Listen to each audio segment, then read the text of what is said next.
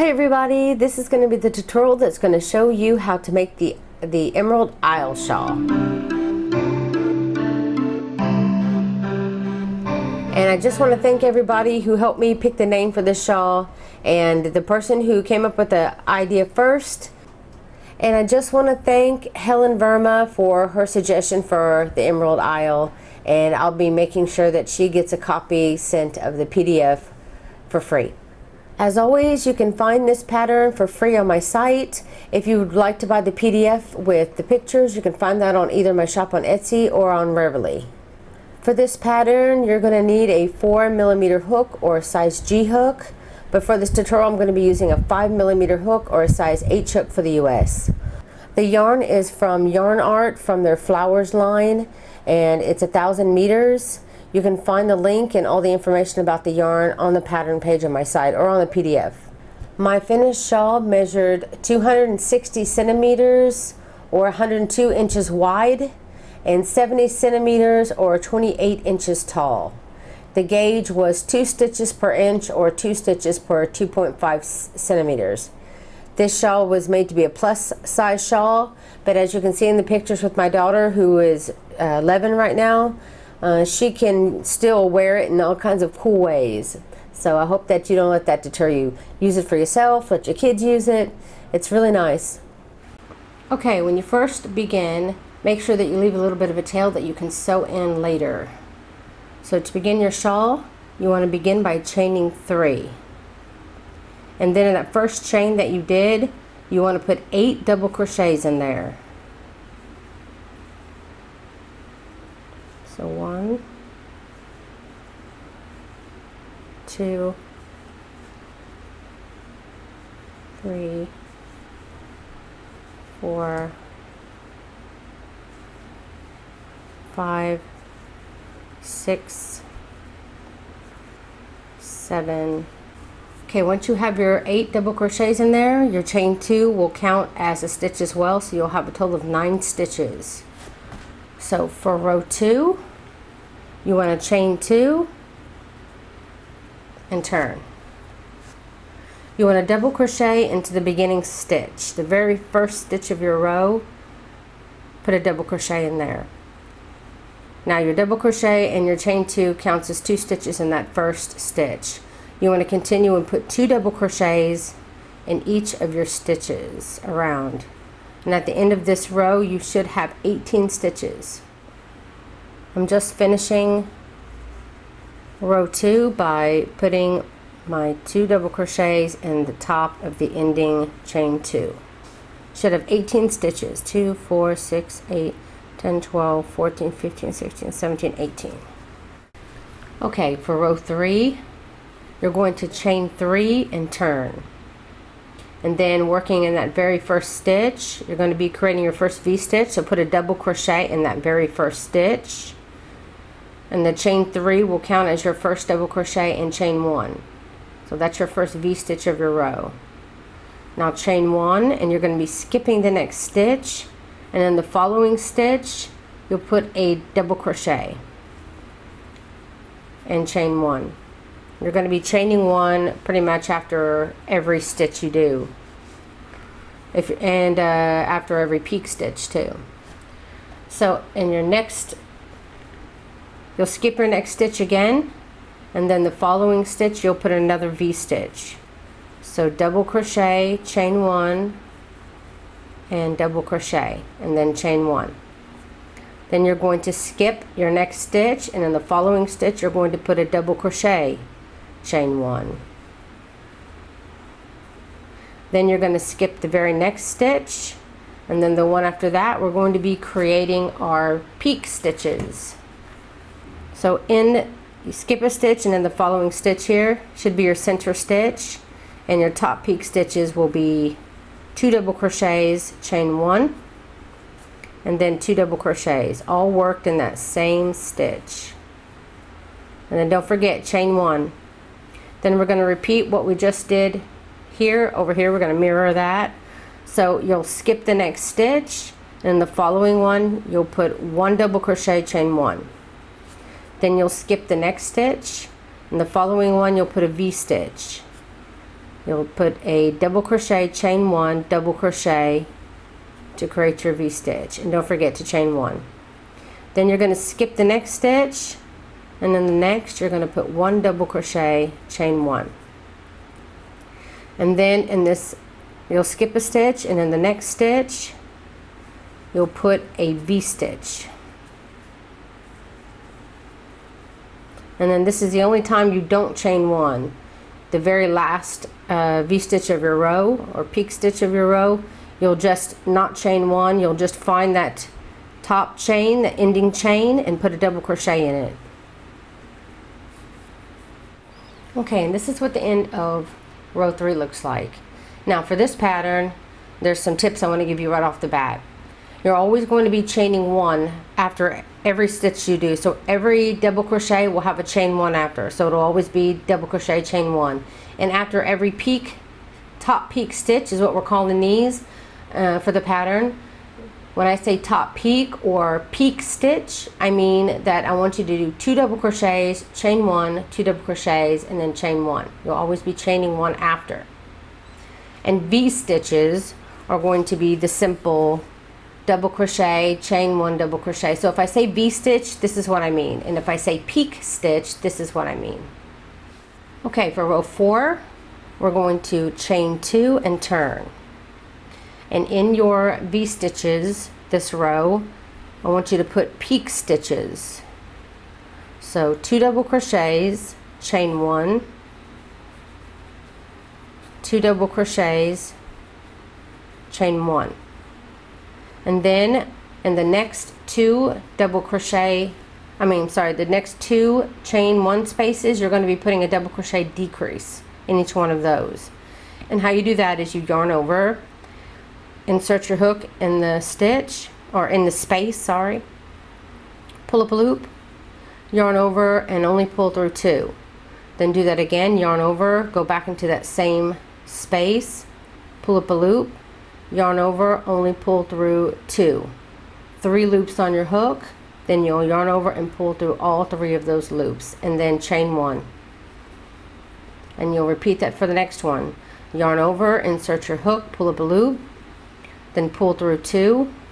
Yarn over insert your hook into the same space only pull through two then pull through three and chain one. And that will bring you back up to your v-stitch again V-stitches, this row will all be worked as peak stitches. So again, we're going to put two double crochets, chain one, and then in the same V-stitch, we're going to put two double crochets and chain one. Then you have two more spaces again, two on chain one, two more chain one spaces, and again you're going to be working that double crochet decrease in both of those chain one spaces. Don't forget to chain one after. Insert, pull through only two, yarn over, pull through only two, and chain one. Now your top peak stitches in this pattern will always be two double crochets, chain one, two double crochets, chain one. So just keep that in mind. You will always do these the same. And I'll tell you why that's important later. I have a knot in my yarn there. Always okay, so one. the next two chain one spaces will, will again be the double crochet decreases.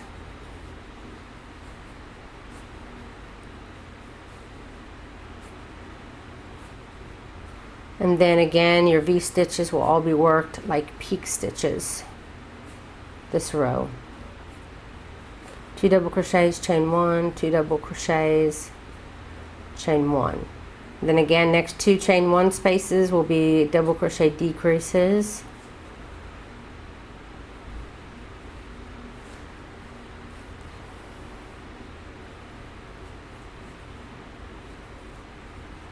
And then your V-stitch at the end again will be worked as a peak stitch. Chain one two double crochets. Don't chain one remember after the very last uh, peak stitch or V-stitch of your row you do not chain uh, one at the end. You have to scooch your stitches over to find the top of that chain and you'll want to put a double crochet in the top of that chain. And that will end row four. And this is what it looks like at the end of row four okay for row five you'll chain two and turn. Now in your first if you if you go by this very first one you know that's your ending double crochet. So then you move over. This is the first two double crochets of your peak stitch. There's your chain one. There's your other two double crochets of your v-stitch you're going to move on over to that peak stitch here the center stitch and you'll v-stitch in your peak stitch when it comes to the the ending uh, peak stitches or v-stitches you're always going to be alternating. So one will be v-stitch which will go with your double crochet row and then this will be your peak stitch that will go with your double crochet row. I mean double crochet decrease sorry. So you'll have peak stitches the thicker ones with your double crochet decrease rows. Everything is much thicker and then on your off rows where you use V-stitches, you'll be using single double crochets chain one. So it's like more of a hollow row. So just remember that they go together. V-stitches go with your double crochets and your peak stitches will go with your double crochet decreases. Every other row you'll be switching V-stitch, peak stitch, V-stitch, peak stitch. But you'll always have these top peak stitches always be double crochet, two double crochets, chain one, two double crochets. Okay, so after your first V-stitch here, don't forget to chain one. Then you're going to be putting a double crochet chain one in the next three chain one spaces. So find the first one here, then you'll double crochet chain one. Then your next space here, double crochet chain one. Then your third space, double crochet chain one. Now we'll come to our peak stitch again and we're going to be putting a V-stitch in our peak stitch and chain one. Then again you'll repeat that. You'll be putting one double crochet and chain one in the next three chain one spaces.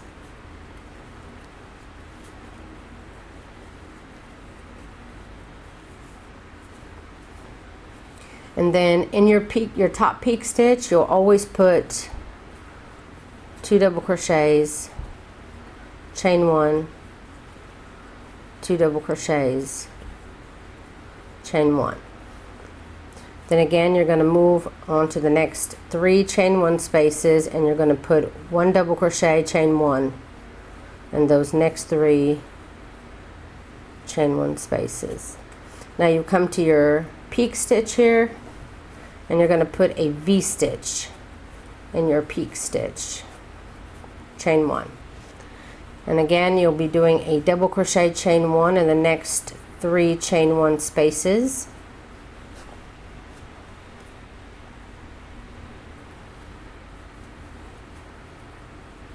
And then your very last peak stitch will be a V-stitch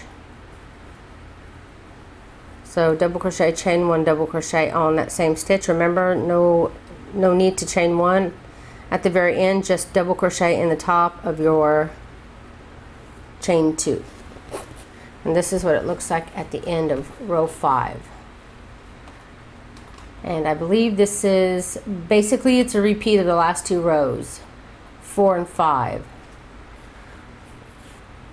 Every other row like I said will have double crochet decreases and then these will be uh, the double crochets. And every time you have a double crochet row you're always going to be adding an extra space so it'll slowly keep growing.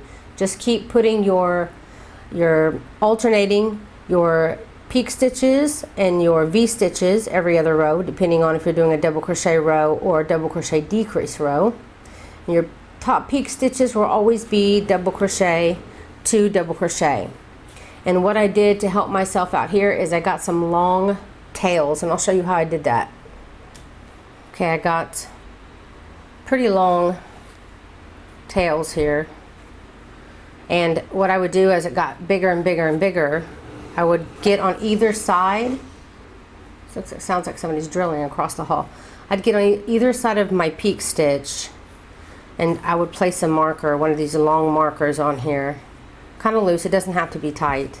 And then in the stitch right below it, I just pull one of those tails through and then you can kind of pull both sides to tighten. That way I'd have this part, I mean this part of the shawl would be would have this marker and then when I flip the other side it would also have a marker already there for me. And I would do it on both sides but you don't have to. It's just a reminder when you get to this part that you need to and I just keep moving it up as I went. And I have my shawl here. I want to show you this this is the center row. See how they're all peak stitches? And then the ones in between get to what color you can see here. Oh will just go this way. Here you'll see let me get a little closer. Every other row one is going to be peak stitch and then the next one will be a V-stitch, then peak stitch, then V-stitch. That's how all those are going to go on the, the second and the very last of your rows. So you'll see this is the ending. It's also peak stitch, V-stitch, peak stitch, V-stitch. It's alternating. The only one that doesn't alternate is the very top middle. And as you can see, let me back up just slightly. This row will be the double crochet decrease followed by double crochet rows. So just think hollow. You know, double crochets are going to be the more hollow row and those are the ones you'll be doing your V-stitches on. And you don't need to worry about counting or anything as long as you are putting your double crochets in the chain one spaces of the double crochets that you did the time before. You'll always be increasing one in between your peak stitches. So between this peak stitch section and the very end of the row here, it just keeps growing and growing and growing and growing and growing. And I've almost got it done. I got, uh, it gets dark here right on the end. And I'll make sure I share pictures and whatnot. But I wanted to make sure that I get this film before the weekend so that you guys won't have to wait like last time. So anyway, so regardless of uh, the repeat already being here, I'm going to go ahead and do a few more rows for you because I'm still doing my shawl right now. So I have it very much in my head. So I'm going to run you through a few more rows of it. So for row six, we did our V-stitch and our double crochets the previous row. So you're always going to chain two from now on. You'll always chain two and turn. And the only difference is of the start of the row is if there's a V-stitch here or a peak stitch here. If there's a V-stitch, then you put a peak stitch. So you're going to put two double crochets, chain one, and two double crochets, chain one. And then in all of your chain one spaces, which now you can see eh, there's one more now, one, two, three, four. Last time there were three. So in the next four chain one spaces, you'll be doing your double crochet decrease. So again, you'll yarn over, only pull through two. Do that again, pull through all three, chain one. Again, yarn over, pull up a loop, pull through two. Do that again. Pull through three, chain one. Keep doing this until you reach your V-stitch or your peak stitch whatever it is you'll always just kind of mindlessly go about it. And then when you reach your your next V-stitch you'll put a peak stitch. So double crochet two chain one. Double crochet two chain one. Now again you have four chain one spaces. So in the next chain four spaces you'll be putting your double crochet decreases. And don't forget to keep chaining one at the end.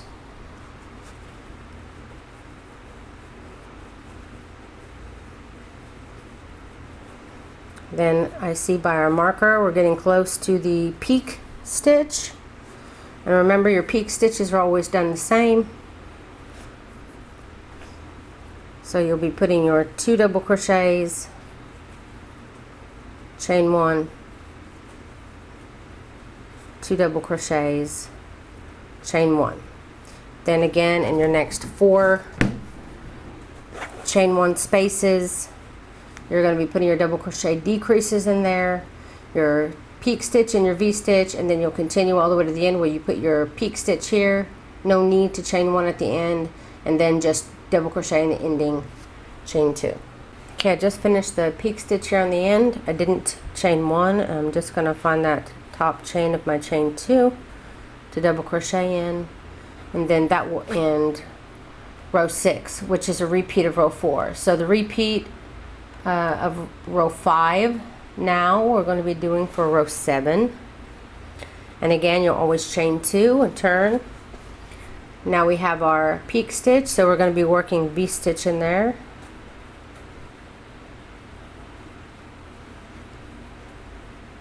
Chain one. Then you're going to be putting one double crochet, chain one, in all your spaces up to your next peak stitch. And since it was four last row, it should be five this row because it, it'll increase by one every time. So we'll have one, two, three, four, five. We have six. Ooh, oops, because I messed up right there. Right there on the end. So I got done with my last peak stitch on the end. You don't have to chain one on the last one just find that top of the chain two and double crochet to end row six which is the repeat of row four so now we're going to be doing the repeat of row five which is going to be row seven for us I'm just going to keep repeating rows four and five. So this is the repeat of row five. So for row seven you're going to chain two as always and turn. Now we're going to be working in our peak stitches will now become V stitches. This row chain one. And now we're going to be careful not to uh, to get in between the two double crochets for your peak stitch there make sure you come over and you find your next your, your actual space between your peak stitch and your first double crochet decrease. And you'll put a double crochet chain one in that space. And then continue to put a double crochet chain one in all your chain one spaces until you reach your next peak. And, and since it increases by one and it was four last row we should have five this row. So now we have one two three four five spaces in between our two increases here.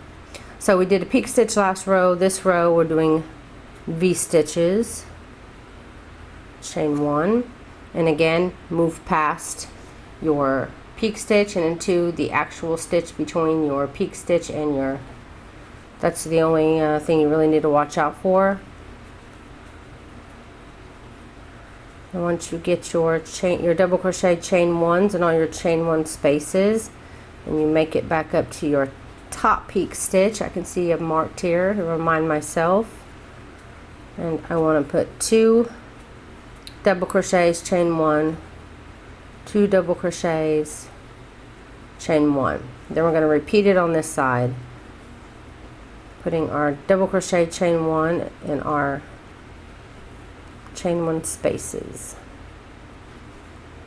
Should be five this row. And that brings us back up to our I'm running out of yarn here. Brings us back up to our peak stitches. So again, V-stitch in your peak stitches, then chain one, uh, double crochet and chain one in all your chain one spaces till you get to the very end of your row where you will put a V-stitch here. No need to chain one, just double crochet in the top of your chain two from last row.